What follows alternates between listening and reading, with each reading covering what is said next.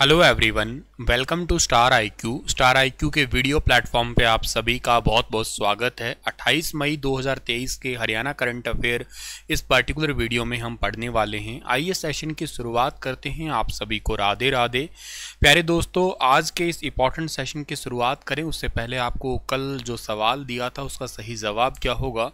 निम्नलिखित में से कौन सी नदी समुद्र में अधिकतम मात्रा में पानी ले जाती है? अब यहाँ पे ना दो ऑप्शन जो है ना वो बहुत ज़्यादा कंफ्यूज आप लोगों को कर रहे थे। एक तो था नील और एक थी अमेज़न। ये दो ऑप्शन है। देखो, नील दुनिया की सबसे लंबी नदी है, लेकिन अगर आप नदियों के हिसाब से चौड़ेपन की बात करते हैं तो वो है अमेज़न। तो ज़्यादा चौड़ाई है तो ज़ाहिर सी बात है पानी भी ज़्यादा ही आएगा। कॉमन सेंस है। तो करके इस सवाल का ठीक जो आंसर है ना बी वाला ऑप्शन ठीक था। बहुत सारे बच्चों ने आंसर नील पे दे रखा था। इस करके मैं आ, समझ ही गया था कि आप लोगों का कन्फ्यूज़न तो लाजमी आना ही आना है। अमेजन नदी अंटार्कटिक महासागर में अपने पानी को निर्वहन करती है। अमेजन बेसिन दुनिया में सबसे बड़ा जल निकासी बेसिन है ये। अमेजन नदी दुनिया में दूसरी सबसे लंबी नदी है आ, है केवल नील नदी के बाद में। और अमेरिका की सबसे लंबी और सबसे बड़ी नदी के रूप में भी जाना करते हैं इसको। अमेजन नदी पेरू के एंडीज पर्वत से निकलती है। Peru, Bolivia, Venezuela, Colombia, Ecuador, Brazil, इन देशों से होके बहती है ये। और अमेजन नदी के ऊपर पूरी चौड़ाई में जो है ना कोई पुल भी नहीं है, ठीक है ना, क्योंकि चौड़ाई बहुत ज़्यादा है इसकी। अमेजन नदी का अधिकांश हिस्सा ब्राज़ील से होके ही बहता है। तो हिसाब से आप लोगों को चीज़ें समझ में आ गई होगी और अब आप कभी कंफ्यूज भी नहीं होगे, ठीक है? आइए आज का पहला करंट अफेयर पढ़ाते हैं आपको कि हाल ही में कौन सी यूनिवर्सिटी की महिला कबड्डी टीम में खेलो इंडिया चैंपियन बनी है। तो महिला kabaddi team Khelo India champion बनी है, जो कि कुरुक्षेत्र की टीम है। ऑप्शन नंबर ए इस सवाल का बिल्कुल ठीक रहेगा। कुरुक्षेत्र यूनिवर्सिटी की टीम है एक्चुअली ऑप्शन नंबर ए ठीक है। फाइनल मुकाबले में हिमाचल प्रदेश यूनिवर्सिटी शिमला को बत्तीस तीस से हराया और कुरुक्षेत्र के 120 खिलाड़ियों ने जो है इसमें क्वालिफाई किया है। तो खेलो इंडिया यूनिवर्सिटी गेम्स में ध्यान रखना, ये खेलो इंडिया यूथ गेम नहीं है खेलो इंडिया यूनिवर्सिटी गेम है। इस बार ये कहाँ पे हो रहे हैं? यूपी में हो रहे हैं। और इसमें कुरुक्षेत्र यूनिवर्सिटी के 120 खिलाड़ियों ने क्वालिफाई किया है। और इसमें से कुरुक्षेत्र यूनिवर्सिटी की कबड्डी टीम ने जीत के सिलसिले को कायम करते खेलो इंडिया यूनिवर्सिटी टीम दो हज़ार में गोल्ड मेडल जीता है और यूनिवर्सिटी का नाम तो खैर टॉप किया ही है। इस यूनिवर्सिटी के वीसी कौन है? प्रोफेसर सोमनाथ सचदेवा। अच्छा इस यूनिवर्सिटी के वीसी है ना, ये बहुत इंपॉर्टेंट है। क्यों इंपॉर्टेंट है सर क्योंकि आपको पता होगा, दुनिया की पहली आयुष यूनिवर्सिटी वो भी कुरुक्षेत्र के अंदर बनने वाली है। अगर आपको याद होगा तो। वैसे ही यूनिवर्सिटी जो है ना एक्ट 2017 के तहत 2018 में सेटअप हो गई है और 500 एकड़ में, हालाँकि इसका काम अभी भी जारी है। इसका बजट पहले 100 करोड़ रुपए था और बढ़ा के 200 करोड़ कर दिया और इसके वीसी का नाम जो है ना एस एन सचदेवा ही है। और इसके अलावा इस यूनिवर्सिटी के खेल विभाग के निदेशक है डॉक्टर राजेश सोबती। ये भी बात आप लोग याद करना, ठीक है? चलिए आगे बढ़ते हैं। अगला क्वेश्चन आपके लिए है कि हाल ही में हरियाणा के किस ज़िले में सेल्फ हेल्प ग्रुप के उत्पादों की बिक्री के लिए सेंटर बनेंगे? सेल्फ हेल्प ग्रुप प्रोडक्ट के आ, को बेचने के लिए हरियाणा के अंदर जो है ना ये सेंटर बनेंगे कुरुक्षेत्रा के अंदर। ऑप्शन नंबर बी इस सवाल का बिल्कुल ठीक है। ये पायलट प्रोजेक्ट सफल अगर रहा है तो कुरुक्षेत्र में स्टोर बनाने की संख्या को बढ़ाया जाएगा और धीरे धीरे फिर पूरे हरियाणा के अंदर भी इसको बढ़ाया जाएगा। आज़ादी का अमृत महोत्सव वैसे भी आप सभी को पता है चल ही रहा है। इसमें स्वदेशी उत्पादों को बढ़ावा देने के लिए, सेल्फ हेल्प ग्रुप की कड़ी को मज़बूत करने के लिए कुरुक्षेत्र ज़िले के अंदर 10 स्टोर बनाने का निर्णय लिया गया है सरकार के द्वारा। दस ग्रुप को लेके एक स्टोर बनाया जाएगा, ठीक है ना? दस ग्रुप का मतलब क्या है सर? जैसे मान लेते हैं कि एक ग्रुप है जिसका कुछ प्रोडक्ट बनाते हैं, शहद से रिलेटेड कोई प्रोडक्ट बनाता है। सेल्फ हेल्प है, ये अपने आप ही दस पंद्रह बीस लोगों को एक छोटा सा इंडस्ट्री लगा रखा है, जिसको ग्राम उद्योग कह सकते हो आप लोग, एक प्रकार से विलेज इंडस्ट्री कह सकते हो। कोई सिलाई मशीन का काम कर रखा है किसी ने किसी ने कोई पेंटिंग का काम कर रखा है, special design, art and culture का भी हो सकता है वो। ऐसे दस ग्रुप को लेके एक स्टोर बनेगा मतलब इन ग्रुप का यहाँ पे सामान बेचा जाएगा। और ये पायलट प्रोजेक्ट के रूप में काम करेगा याद रखना। पायलट प्रोजेक्ट का मतलब है यहाँ पे ये एक डेमो टाइप का होगा। अगर ये सक्सेस रहता है तो इन फ्यूचर के लिए बहुत ही आ, मतलब इसको महत्वाकांक्षी प्रोजेक्ट के रूप में मान के पूरे हरियाणा के अंदर लगा दिया जाएगा। 2014 से लेके अब तक 2516 self group self help group Deendayal Antyodaya Yojana के तहत नेशनल रूरल लाइवलीहुड मिशन के तहत बनाए गए हैं। यह ग्रुप कुरुक्षेत्र के 127 गाँवों में ऑलरेडी अभी काम कर भी रहे हैं ये ठीक है? सो so, इंपॉर्टेंट है ये 10 सेल्फ हेल्प ग्रुप को लेके एक स्टोर बनाया जाएगा ताकि एक साथ 100 सेल्फ हेल्प ग्रुप इस योजना के साथ जुड़ सके इस स्टोर का स्वरूप क्या होगा इसका फैसला प्रशासनिक अधिकारियों को ही लेना होगा कि कैसे टोटल है इसमें वीटा और हैफेड है इनको भी जोड़ा जाएगा इनके प्रोडक्ट भी एक्चुअली जो है ना वो ऐड किए जाएँगे। और इसके अलावा जो है ना यहाँ पे एक बात और इंपॉर्टेंट है कि सेल्फ हेल्प ग्रुप को पाँच करोड़ नौ लाख रुपए की राशि भी उपलब्ध करवाई जाएगी। ये राशि दो हज़ार पिचानवे सेल्फ हेल्प ग्रुप को मुहैया करवाई जाएगी टोटल ऐसा नहीं कि एक को, ये टोटल दो हज़ार पिचानवे सेल्फ हेल्प ग्रुप को इतने पैसे दिए जाएँगे। बाकी इसके बारे में और क्या क्या चीज़ें इसमें अपडेट होगी, अभी वो जब ये लॉन्च होंगे तब आपको बताया जाएगा। ठीक है? अच्छा आप बात आप कुरुक्षेत्र की कर रहे हैं तो ये तो हम कर ही सकते हैं ना। कुरुक्षेत्र की बात अगर हम करें तो सबसे इंपॉर्टेंट चीज़ इसके विधानसभा क्षेत्र कौन से हैं? कुरुक्षेत्र के अंदर जो है ना, थानेसर नाम का एक विधानसभा क्षेत्र है। अच्छा थानेसर से विधायक कौन है? थानेसर से जो विधायक है ना, उनका नाम आप याद रखना सुभाष सुधा है, ठीक है ना? उनका नाम क्या है? उनका नाम है सुभाष सुधा। ठीक है? अच्छा दूसरे अगर आपसे पूछा जाए तो कौन है? दूस, मतलब दूसरी सीट कौन सी है? दूसरी सीट शाहबाद है। अच्छा शाहबाद बड़ी इंपॉर्टेंट सीट है ये रिज़र्व सीट है ठीक है? और यहाँ से कौन जीते हुए? यहाँ से रामकरण जीते हुए हैं ठीक है? तीसरे आ, तीसरी जो सीट है वो कौन सी है? तीसरी सीट है पेहवा है। अच्छा पेहवा से कौन जीते हुए? पेहवा से बहुत इंपॉर्टेंट पर्सन ही है सरदार संदीप सिंह है, ठीक है ना? सरदार संदीप सिंह जी है हॉकी प्लेयर है। अर्जुन अवार्ड इनको मिल चुका है। हरियाणा के पूर्व खेल मंत्री है, वर्तमान में तो इनके पास प्रिंटिंग डिपार्टमेंट है, स्वतंत्र प्रभार के मंत्री हैं ये। कुछ आरोपों के चलते इनको खेल मंत्रालय, हरियाणा के मुख्यमंत्री जी के पास ही सौंप दिया अभी इन्होंने। एक लाडवा है यहाँ पे, अगर आपको पता हो तो लाडवा। लाडवा से विधायक कौन है? लाडवा से विधायक है मेवा सिंह। तो इनका भी नाम आप लोग ज़रूर याद रखना, ठीक है? अच्छा इसके अलावा आप लोग जो है ना, क्या याद कर सकते हो कुरुक्षेत्र से? कुरुक्षेत्र में जो सबसे इंपॉर्टेंट बात मुझे लगती है वो है यहाँ पे के यू के यूनिवर्सिटी, क्योंकि अभी हमने ज़िक्र किया ही है उस यूनिवर्सिटी का। अच्छा ये यूनिवर्सिटी जो ना यू यूनिवर्सिटी ग्रांट कमीशन 1956 के एक्ट के तहत उन्नीस सौ सत्तावन के अंदर 11 जनवरी 1957 को डॉक्टर राजेंद्र प्रसाद जी भारत के जो पहले राष्ट्रपति थे, उन्होंने इसका उद्घाटन किया था। और इसकी शुरुआत कौन से डिपार्टमेंट से हुई थी, अगर आपसे पूछ लिया जाए तो इसकी शुरुआत स्टार्टिंग में जो है ना, वो संस्कृत विभाग से हुई थी। संस्कृत डिपार्टमेंट इसका सबसे पहला था। हरियाणा की एक प्लस ग्रेड यूनिवर्सिटी है। प्रेजेंट इसके वीसी का नाम प्रोफेसर एस एन सचदेवा है। ये भी बात याद रखना।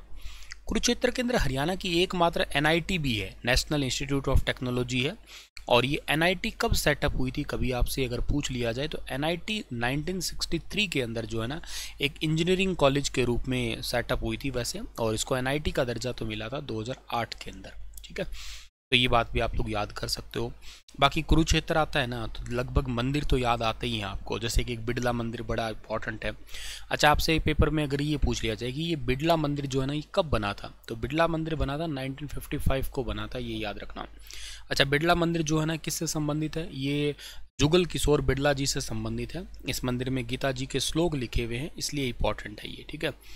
अच्छा अभी हाल ही की अगर बात की जाए तो यहाँ पे गीता महोत्सव हुआ था, आपको याद होगा। अच्छा गीता महोत्सव कब से कब तक हुआ था? गीता महोत्सव हुआ था 19 नवंबर से लेके 4 दिसंबर के बीच में हुआ था ये 2022 के अंदर हुआ था।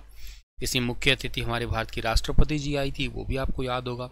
अच्छा इसका थीम नेशन कौन सा था इस बार? इसका थीम नेशन इस बार इसका एम था। और इसके अलावा जो है ना, अगर बात याद की जाए इंटरनेशनल गीता उत्सव जो है ना, अभी हाल ही में हुआ था और वो हुआ था ऑस्ट्रेलिया में। शुरुआत में अगर देखा जाए तो ये अलग अलग देशों के अंदर हुए थे ये, ठीक है ना? जैसे मॉरिशस के अंदर हुआ, इंग्लैंड के अंदर हुआ, लेकिन सबसे लेटेस्ट की बात अगर की जाए तो 2022 का हुआ था, कनेडा के अंदर हुआ था, ओटावा के अंदर। और अभी रिसेंटली 2023 का हुआ है, ऑस्ट्रेलिया के कैनबरा के अंदर हुआ है। और ये कब हुआ है, वो भी मैं आपको बता देता हूँ, तारीख भी मुझे याद है। 28 को हुआ था, उनतीस को हुआ था 30 को हुआ था, ये अप्रैल की तारीखें हैं। सत्ताईस, अट्ठाईस सॉरी अट्ठाईस, उनतीस, तीस है, ठीक है ना? अट्ठाईस, उनतीस, तीस अप्रैल को, अप्रैल दो हज़ार तेईस के अंदर ये ऑस्ट्रेलिया की कैपिटल कैनबरा के अंदर हुआ सर अनिल विज के मुख्य अतिथि बने थे उस टाइम पे, ठीक है? तो चलो सर तो ये बातें आपको कुरुक्षेत्र की है, इतनी सारी याद रहनी चाहिए। राष्ट्रीय पशुधन मिशन के तहत उद्यम लाने लगाने पर कितने प्रतिशत की सब्सिडी मिलेगी? Under the national livestock mission what percentage of subsidy will be given for starting a venture तो इसके लिए टोटल जो है ना 50 परसेंटेज की सब्सिडी मिलेगी। ऑप्शन नंबर ए इस क्वेश्चन का बिल्कुल ठीक है। राष्ट्रीय पशुधन मिशन के तहत नया उद्यम लगाने पर 50 परसेंटेज की सब्सिडी मिलेगी। और इसके लिए अधिकतम सीमा 10 लाख रुपए से 50 लाख रुपए तक है। यह सब्सिडी मुर्गी पालन, भेड़ और बकरी पालन, सुअर पालन और चारा उद्यम के लिए बेसिकली दी जाएगी। तो राष्ट्रीय पशुधन मिशन के तहत आपके पेपर में पूछ सकता है किस मिशन के तहत ये ऐसा होने जा रहा है तो आपको राष्ट्रीय पशुधन मिशन याद रखना है। और हरियाणा पशुधन विकास बोर्ड की तरफ़ से जो ना, कोई नई फैक्ट्री लगाता है, नई इंडस्ट्री लगाता है, उस पर 50 परसेंट तक की सब्सिडी दी जाएगी। हाँ ये रिलेटेड होनी चाहिए किससे? मुर्गी से, भेड़ से, सुअर पालन से और चारे संबंधित कोई भी इंडस्ट्री खड़ी करना चाहता है तो उसके अंदर हरियाणा सरकार 50 परसेंटेज की उनको सब्सिडी देगी। भाई, कहीं सौ रुपये लगते हैं तो पचास रुपये सरकार लगा के देगी। हाँ ये ज़्यादा से ज़्यादा जो है ना, ये दस लाख से बीच के बीच, पचास लाख तक ही हो सकता है, इससे ज़्यादा नहीं। कहीं एक करोड़ का बिज़नेस तो कर दो तो ऐसा नहीं। इनके अंडर ही इनको बेसिकली ये वाला काम जो है ना दिया जा सकता है या सब्सिडी दी जा सकेगी। हरियाणा के कोयम्बटूर में हुई I G U amateur golf प्रतियोगिता में किस ज़िले के रोहित नरवाल ने गोल्ड मेडल जीता है? सॉरी तमिलनाडु का कोयम्बटूर है, हरियाणा का नहीं, तमिलनाडु के कोयम्बटूर में हुई है I G U amateur gold प्रतियोगिता के अंदर। और उसमें रोहित नरवाल जो है ना, ये मेडल जीते हैं। इनका तो खैर आपसे पूछा, जिला कौन सा इनका जिला है हरियाणा का करनाल। तो इस सवाल का ऑप्शन नंबर डी जो है ना, वो बिल्कुल ठीक रहेगा। ये बात आप लोग याद रखिएगा, ठीक है ना? डी ऑप्शन इस क्वेश्चन का पर्टिकुलर का ठीक है, नर, करनाल। अच्छा ये तो बात ठीक है, करनाल के अंदर जीता। तमिलनाडु के अंदर कोयम्बटूर के अंदर हुआ था। एमेच्योर गोल्फ प्रतियोगिता वहाँ पे जीता है। रोहित नरवाल ने गोल्ड मेडल जीता है। काफ़ी बड़ी बात है इस गेम में, गोल्ड मेडल जीतना, ठीक है? अच्छा ये तो बात ठीक है, पर करनाल जो है ना, करनाल की स्थापना कब हुई थी? जब हरियाणा बना तभी हुई थी ना? एक नवंबर उन्नीस सौ छियासठ को ही हुई थी, ठीक है? अच्छा करनाल से अगर आपसे पूछ लिया जाए कि विधानसभा सीटें कौन सी है यहाँ पे, ठीक है? तो करनाल से एक विधानसभा सीट तो करनाल ही है। करनाल से कौन जीते हुए? बड़े इंपॉर्टेंट पर्सन है भाई, मनोहर लाल, ठीक है ना? मनोहर लाल, ठीक है ना? मनोहर लाल, मैं नाम क्यों गलत लिख रहा हूँ? इतने फ्लो फ्लो में, ठीक है? मन, अरे भैया क्या हो गया? मनोहर लाल। ज़्यादा खुशी होगी, लगता है मुझे। ठीक है ना? मतलब ज़्यादा खुशी तो क्या, लेकिन हाँ ठीक है, मनोहर लाल जी। मनोहर लाल खट्टर बीजेपी से हैं। दूसरी सीट कौन सी है, सर? दूसरी सीट जो है ना, वो है इंद्री। एक बार गलती होती तो होने लगी जाती है। दूसरी सीट इंद्री है, यहाँ से है राम कुमार। बाकी मेरी हिंदी थोड़ी है ही ख़राब। और तीसरी सीट अगर आपसे पूछ लिया जाए, तीसरी सीट है असंध। ठीक है ना? असंध। अच्छा असंध से कौन जीते हुए हैं? से जीते हुए हैं शमशेर जी, ठीक है ना? शमशेर जी शमशेर जी। शमशेर जी गोगी है, वैसे तो पुराना नाम इनका। इसके अलावा घरोंडा भी एक सीट है यहाँ पे, ठीक है ना? घरोंडा। घरोंडा से जीते हुए हैं हरविंदर, ठीक है? हरविंदर सिंह कल्याण है। एक सीट है नीलो खेड़ी नीलो खेड़ी तो आप लोगों को पता होगा कि ये सीट आरक्षित सीट है नीलो खेड़ी नीलो खेड़ी से जीते हुए धर्मपाल गोंदर, ठीक है ना? तो यहाँ से जीते हुए धर्मपाल गोंदर, ठीक है? तो ये बात भी आप लोग याद रखना। इसके अलावा अगर आपसे ये पूछ लिया जाए कि हमारा ये जो करनाल ज़िला है ना, ये किसके लिए ज़्यादा फ़ेमस है? करनाल ज़िले के अंदर ना बहुत सारे इंस्टीट्यूट है, ये इसके लिए फ़ेमस है। एक तो एक तो यहाँ पे एन है, आपको पता होगा। एनडीआरआई क्या है? नेशनल डेयरी रिसर्च इंस्टीट्यूट है ये। इसकी स्थापना वैसे 1923 में हुई थी, पर बेंगलोर में हुई थी। बाद में imperial animal husbandry dairy research institute बना था ये। और इम्पीरियल कॉलेज के रूप में 1936 के अंदर जो है ना इसकी प्रॉपर स्थापना हुई थी। 1923 से 1936 आ गया। उसके बाद में 1955 के अंदर जो है ना इसको बेंगलोर से करनाल लेके आए थे, ठीक है? तो आप मेनली एनडीआरआई की हरियाणा में तो स्थापना अगर आपसे कोई पूछे ना तो आपको जवाब 1955 ही देना है, ठीक है? एक तो बात ये इंपॉर्टेंट हुई। अच्छा एनडीआरआई का एक करंट अफेयर मुझे बड़ा इंपॉर्टेंट याद है। हरियाणा के अंदर कहो या देश के अंदर ही कहो, ठीक है ना? बेसिकली आईवीएफ टेक्नोलॉजी से भैंस तैयार करने के मामले में एनडीआरआई नंबर वन है, ठीक है ना? इन वर्टो फर्टिलाइजेशन से भैंस तैयार करने में नंबर वन है ये। इसके अलावा जो है ना एनडीआरआई एक यूनिवर्सिटी भी है, आपको पता होगा। और एनडीआरआई यूनिवर्सिटी का दर्जा इसको मिला कौन से साल था, ये क्वेश्चन एक एचएसएससी ने पूछा था। और एनडीआरआई को जो है ना यूनिवर्सिटी का दर्जा दिया गया था 1989 के अंदर, ठीक है ना 1989 काफ़ी प्यारा सवाल है। नेशनल डेयरी रिसर्च इंस्टीट्यूट्स को 1955 में हरियाणा में सेटअप करके और एनडीआरआई को 1989 में जो है ना, एक यूनिवर्सिटी हालाँकि यूनिवर्सिटी डीम्ड यूनिवर्सिटी है तो ये भी आप याद कर सकते हो। अच्छा करनाल के अंदर एक सॉइल सेलिनिटी रिसर्च सेंटर भी है। सॉइल सेलिनिटी रिसर्च सेंटर है। तकरीबन उसका यही नाम है। 1969 में जो है ना, उसका सेटअप हुआ था आपका। इसके अलावा जो है ना, एक वीट रिसर्च सेंटर भी है। वीट रिसर्च सेंटर का मतलब क्या है कि गेहूँ अनुसंधान केंद्र है। यह भी करनाल के अंदर पड़ता है। 19 और इसकी स्थापना जो है ना वीट रिसर्च सेंटर की हुई थी। 19 शायद सेवेंटी एट है। ठीक है ना, एक बार फिर भी चेक कर लेना इसको। हो सकता है मैं भूल जाऊँ कहीं। ठीक है? चलो, इतनी सारी बातें आप लोग याद कर सकते हो। अच्छा एक गन्ना प्रजनन केंद्र भी याद कर सकते हैं आप लोग। गन्ना प्रजनन केंद्र जो है ना, यहाँ पे करनाल में ही है और उसकी स्थापना 1932 के अंदर हुई थी, ठीक है ना? 1932 के अंदर हुई थी। गन्ने को उल्टा खाया जाता है, ऐसे करके मैंने याद कर रखा है, तीन, दो तीन, ठीक है ना? तो ये सब चीज़ें आपको याद रखनी है। बाकी करनाल के मेले बड़े फ़ेमस है। जैसे मैं आपको अगर वर्बली बताने की कोशिश करूँ तो बाबा सिमरन दास का मेला, पांडू का मेला है एक एक देवी का मेला है, और छड़ियों का मेला बड़ा फ़ेमस है। गोगा पीर का मेला भी यहाँ का प्रसिद्ध मेला है, ठीक है ना? हरियाणा का बल्कि इस मेलों का गाँव भी करनाल के अंदर ही है, जिसको सालवन कहते हैं। सालवन करनाल का एक ऐसा गाँव है, जिसको मेलों का गाँव कहा जाता है हरियाणा के अंदर, ठीक है? तो चलिए ये वाला पॉइंट तो आप लोगों को इतना याद रहना चाहिए। इसी के साथ ये सेशन समाप्त होता है। आप थोड़े से मेरे से नाराज़ तो होगे, मुझे पता है, और थोड़ा सा गुस्सा भी आ रहा होगा अपने गुरुजी पे आज तो कि ये गुरुजी आप ना करंट अफेयर में थोड़ी सी गड़बड़ कर रहे हो टाइम पे नहीं मिल रहा, मिल पा रहे हैं। मैं आपकी बात से हंड्रेड परसेंट सहमत हूँ, मेरे बच्चा, मेरे लाल। लेकिन क्या करें आपके सर जी, थोड़े से व्यस्त हैं। बहुत ही कोशिश है कि आप लोगों के करंट अफेयर जल्दी सुचारू रूप से हो जाए। थोड़ा सा माफ़ करिएगा, मैं सॉरी बोल रहा हूँ इस चीज़ के लिए कान पकड़ के कहते हैं ना सॉरी डार्लिंग अपने हरियाणा में एक गाना है ना, बस वही वाली बात है हुँ? हम्म? चलो और हाँ सी टी मेन्स के बैच पे 31 मई तक जो है ना, वो थोड़ी डिस्काउंट चल रहा है 31 परसेंटेज का बल्कि डिस्काउंट चल रहा है तो आप उस बैच को ले सकते हैं और आप लोगों के लिए एक बहुत बड़ी खुशखबरी मेरे तरफ़ से आएगी वो ये, वो आपको कल की वीडियो में बताऊँगा। चलो, एक बढ़िया सी खुशखबरी हो सकती है ठीक है?